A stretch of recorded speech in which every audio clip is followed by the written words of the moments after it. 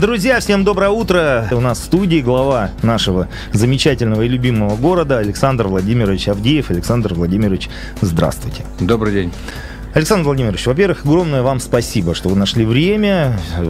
Я видел сам, как у вас сегодня кипит работа, этот летний период. Это просто что-то невообразимое. И плюс еще впереди у нас такая замечательная дата, круглая, большая, огромная и значимая для нашего города это 80-летие, которое мы отметим в конце августа. Традиционно очень хорошее настроение перед этим всем, потому что видим, как преобразился город, преображается главная площадь, э, преображается парки наши, скверы. В общем, есть о чем поговорить. И самый главный вопрос, наверное, чем для вас стал наш город Артем за эти годы и каким вы видите его будущее? Ну, я в городе Артеме прожил э, треть своей жизни. А, вот, поэтому, когда проживаешь треть своей жизни э, в таком городе, он становится для тебя родиной. И поэтому для меня город Артем – это моя родина, где э, я продолжаю работать. И хочу, чтобы наш город Артем э, процветал и был краше, и лучше, и чтобы у нас было меньше проблем, а было больше радости.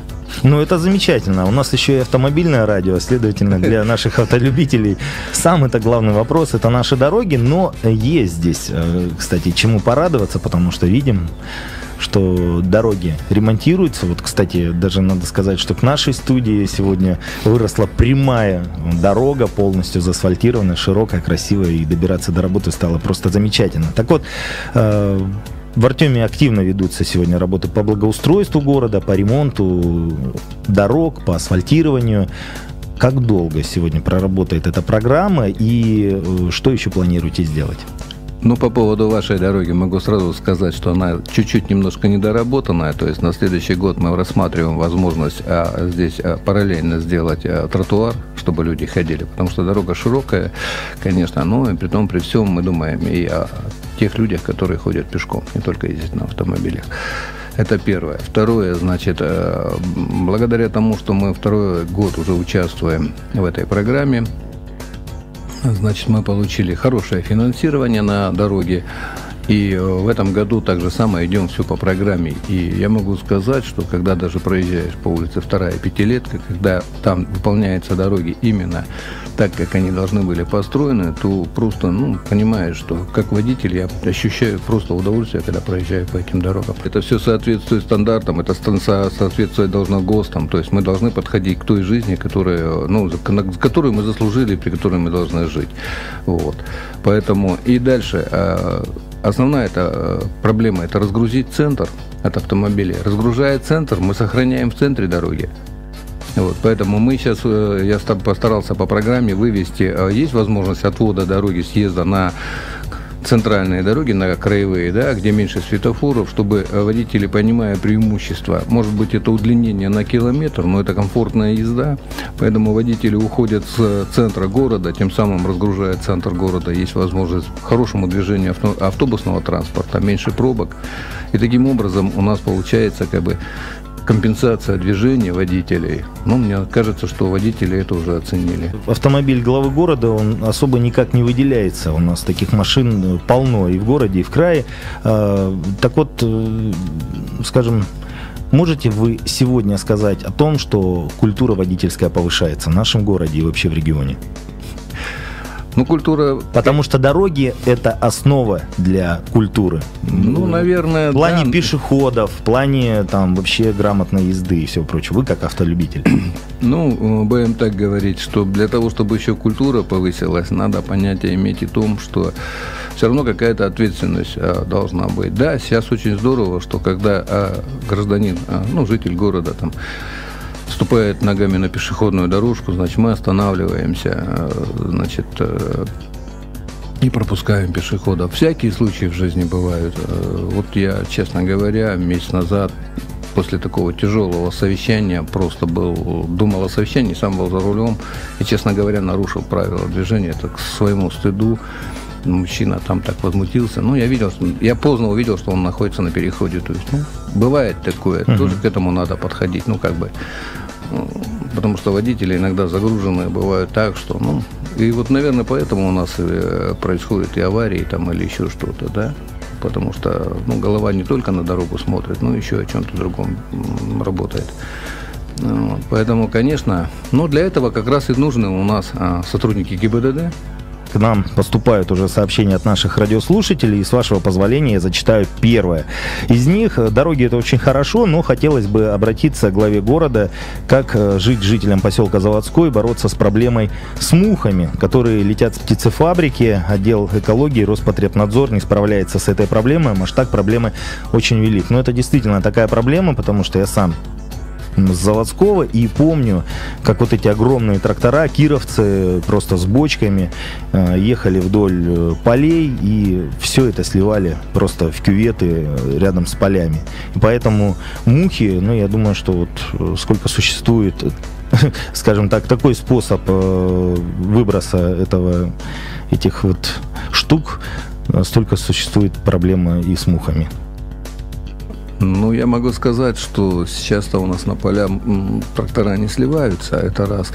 Во-вторых, э, первый э, этап, когда были э, проблемы с мухами, это вот в начале мы обратились в, Ростехнадзор, были приняты определенные меры и было э, уничтожено, ну, были протравлены. И вот длительное время их как раз вот даже в теплое, э, в жаркое время мух, если заметили, в заводском как бы uh-huh. и не было. Это вот сейчас второй этап, который, опять же, к нам поступил сигнал. Мы сейчас работаем и с предприятием, кто обязан устранять вот это вот явление, и, э, конечно, мы выходим на Ростехнадзор, э, Роспотребнадзор, чтобы они привлекли внимание. И э, как бы у нас есть договоренность, если они не справляются со своими полномочиями по уничтожению этих насекомых, то тогда мы привлекать начинаем их уже со стороны административных комиссий, со стороны там, других органов. Поэтому я думаю, сейчас опять такая же будет проведена работа, проведется, э, значит, э, потравка э, данных насекомых, и я думаю, значительное количество их уменьшится. И не будем, правильно, в этом году вот надо отдать должное, что все-таки руководство птицефабрик занималось этим вопросом и как бы проводило дератизацию тех участков, где как раз распространяются и эти насекомые. А как сейчас, кстати, дела обстоят в птицефабрике? А, значит, я могу сказать вот э, по поводу того, что сейчас существует э, такое золотое правило, что администрация не имеет права вмешиваться ни в финансовую, ни в юридическую, ни территориально в деятельность любого предприятия. Ну, такой закон, он нам не позволяет заходить. То есть для того, чтобы... А это предприятие особое. То есть для того, чтобы туда попасть, надо заказать пропуск, там, а, пройти дератизацию. Даже вот когда приезжал губернатор. Да, да, да, я помню, там проходили специальные весь пункты. Комплекс, да. комплекс весь, когда на, проходили. Чтобы, не дай бог, не занести да, какую-то... чтобы ничего никак не занести. Зато туда может э, заходить врачи, ветеринарные, да, которые следят как раз за этими всеми вещами, да, краевые могут заходить. И поэтому мы обращаемся в те структуры, у которых есть свободный доступ на это предприятие, чтобы они а, смотрели за регламентом работы этого предприятия. Александр Владимирович, неспроста я задал такой вопрос. Дело все в том, что, ну, это мое личное мнение, что у нас сегодня очень большая плотность торговых центров и магазинов. Поэтому здесь идет э, меня, как человека, который застал и собственное производство города, когда город был лидером по сельскому хозяйству. Вот э, все-таки как сегодня можно поддерживать и э, развивать собственные производства, собственные предприятия? Вы знаете, э, те предприятия... Чтобы наш город не превратился в торговую базу ну, как вам сказать, для того, чтобы не превратился, а процветало собственное производство, ну, первое, это, наверное, улучшение технологий, то есть удешевление товара. То есть предприниматель должен рассматривать разные пути становления. И если это было раньше в государстве, в нашем, ну, вы, наверное, тоже захватили, угу. когда было плановое ведение хозяйства, допустим, ну, положено, допустим, там 100 тысяч яйца выпустить, ну, я так утрированно говорю в месяц, значит, вы выпускали 100 тысяч, все, ушло в продажу, и все. Это было плановое. Сейчас кто первый, у кого дешевле, у кого лучше – тот и заходит. Тот и заходит, тот и побеждает. И, конечно, плохо, когда на одном пятачке там находится 15-10 магазинов, которые создают... А, вроде у одного пошло, он начинает получать прибыль. Все увидели, о, у него пошло. Раз, раз, раз, раз, рядом настроилось, да? Вот. Число жителей не увеличилось число покупателей не прибавилось. Все это разделилось. Оно все разделилось. А, а получается, раньше был один продавец, там, ну или два-три, да, а теперь их 10. Это та же самая зарплата, это 10 собственников, ну и все остальное, да. Вот. И получается, что уже как бы тяжело. Вот. Ну, вот такой у нас бизнес не плановый, так будем говорить. Ну, вы хоть и новый глава города, но абсолютно не новый человек для нашего города, и в том числе и в местной власти. Вот у вас сегодня практически обновленный состав вашей команды заместителей, и чего вы от них требуете в первую очередь? Работы. Ну, работы все работают. Нет. Можно принять по-разному подход к работе. Или подойти четко, когда ты не хочешь работать и просто отписаться. Это один вопрос. И второй вопрос, когда можно выполнить поставленную задачу, и потом э, будет намного лучше. Вот я требую от своих подчиненных, чтобы была выполнена задача поставленная, но э, в, рамках, в рамках правового поля, не нарушая законодательство. Угу. Ну и, наверное, один из вопросов, который сегодня также волнует э, многих жителей, это вопрос о недостроях. Я знаю, что работа вами ведется с застройщиками. Вот, кстати, недавно презентовали э, дом, э, который ввели в эксплуатацию благополучно, кстати, который был построен за достаточно такие малые сроки.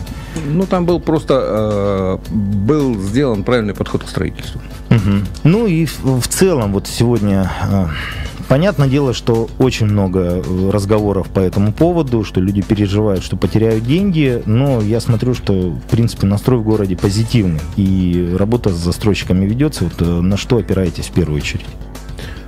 Ну, в первую очередь надо отдать должное тому, что э, застройщик не стал объявлять себя банкротом. Хотя для простоты решения он мог себя объявить банкротом, и все бы стало бы колом. Ну, просто это, это позволяет... Александр Владимирович, вот, извините, перебью. Если вот э, вдруг смоделировать ситуацию, все, застройщик банкрот э, и э, дом стал, кто его дальше будет достраивать?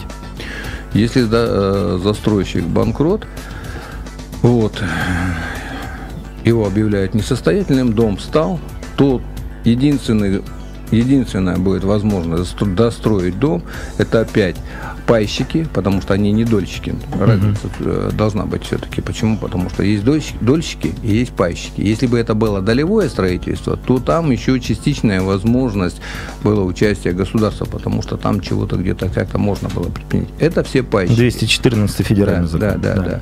Вот. А это все пайщики. Значит, э, единственный выход у них будет, это только дополнительно собирать финансирование, нанимать новую строительную компанию, и та строительная компания может достраивать. Я почему и говорю, что на сегодняшний день та компания, которая держит вот этот удар, с которой случилось вот эти все неприятности, да, она не уходит с рынка, она а, достраивает дома, она пытается достроить то, что есть ну, не так быстро, но все-таки э, у нее начинает это получаться. Может быть, с тем, что зашли э, в эту компанию еще определенная группа людей, компания, которая решила тоже помочь городу Артема. Вот, поэтому у нас вот происходит сдача. И э, более-менее продвинулись э, строительство по Тихоокеанской, по Сахалинской. Значит, вот сейчас мы э, рассматриваем вопрос по Рудничной. То есть, ну вот мне, как главе города, приходится, ну, почти каждую неделю встречаться то по Рудничной с пайщиками, то по Лазо 15 а, ну, по Тихоокеанской вроде люди успокоились. Но самые первые были это по улице Тихоокеанской, конечно, когда они приходили и говорили, вот шесть этажей, мы не видим начала, и мы не видим конца. Ну, уже вроде как... Ну, там хоть э, ситуация с сетями более-менее э, такая знаете, разрешимая. А, и порудничная уже ситуация с сетями разрешимая. Вот. И э, по лазу с сетями разрешимая ситуация. Ну, то есть э, везде надо дополнительное финансирование то, которое не вложено на окончание строительства. Скоро зима. Будете ли помогать восстанавливать крышу на кооперативной 4 после пожара? Значит, я могу сказать, если бы была бы хоть э, какая-то малейшая возможность мне оказать им э, юридическую помощь, юридическую, финансовую помощь в правовом поле, естественно, я бы уже давно этим вопросом занялся. То есть мы проработали разные варианты, мы обращались э, и в фонд, чтобы передвинуть ремонт этого дома, значит, получили отказ. Значит, поэтому вот у меня, как у главы города, да, мне иногда приходится очень много говорить нет. Я не могу помочь э, никаким образом этим людям. Почему? Потому что нет правового поля, когда бы можно было бы использовать финансирование на помощь э, данных э, людей, которые потерпели вот такое большое, у которых такое большое несчастье. Еще вопрос от нашего радиослушателя. Что с запреткой? Будете ли производить там какие-либо работы? Запреткой на сегодняшний день э, будут вестись работы в переводе э, из гидротехнического сооружения в обыкновенную дамбу. Вот. И, и это будет... Мы не собираемся уничтожать как, ну, как место, где как там... Природное, как природное достояние, достояние да. Вот. Но при том, при всем, первое, значит, это будет обыкновенная дамба, естественно, у нее другие будут условия содержания. У нас бывают там тайфуны, там всякие, да, вот в случае того, что при возникновении таких техногенных э, катастроф, да, у нас вот этого и не получилось, чтобы эту дамбу не размыло, не развалило. Поэтому уровень понизился, намного понизился, да, и вот этот уровень будет держаться. Э, реконструкцию гидротехнического сооружения я тоже опять отвечу, что мне приходится говорить нет, не будет по одной простой причине. А цена вопроса только для реконструкции три года назад была 25 миллионов, Сейчас наверняка больше, я не пересчитывал. Uh-huh. Вот. Ну и плюс еще потом придется содержать это гидротехническое сооружение с целым штатом сотрудников. Поэтому мы переводим его из категории опасных в неопасные. Ну и на этом будет вот это просто небольшое озеро uh-huh. на территории Артемовского городского округа. Читаю сообщение. Здравствуйте, Александр Владимирович. Можно ли сделать лежачий полицейский по улице Панфилова, так как нет ни тропинки для людей, дети ходят в школу, приходится идти по дороге, машины едут на большой скорости, постоянно идешь в страхе, вдвоем невозможно идти, приходится останавливаться и пропускать машины из-за их скорости. Лежачий полицейский там просто необходим. Спасибо. Ну, совсем неправильно поставленный вопрос, ну, не совсем правильно поставленный вопрос. Надо Там скорее нужен тротуар. тротуар, а не лежачий полицейский. Поэтому давайте мы лучше посмотрим а, насчет тротуара. Возможно, почему? Потому что сейчас мы как раз формируем возможность э, ремонта дорог на 2019 год и по тем данным, которые у меня сейчас есть, это чуть-чуть будет побольше, чем в этом году, ну, я так надеюсь, который позволит нам более качественно и а, больше сделать дорог. Я записал ваш вопрос, вот, и мы, наверное, посмотрим все-таки на а, строительство тротуаров, а не лежачих полицейских. Радиослушательница Лидия задает вам вопрос, будут ли асфальтировать дороги в частном секторе, конкретно по улице Воснецова, пока что она заасфальтирована только наполовину. Значит, э, там, где раньше лежал асфальт, будем рассматривать вопросы. Почему? Потому что ну, есть возможность там, где был асфальт, э, туда и его уложить. Вот.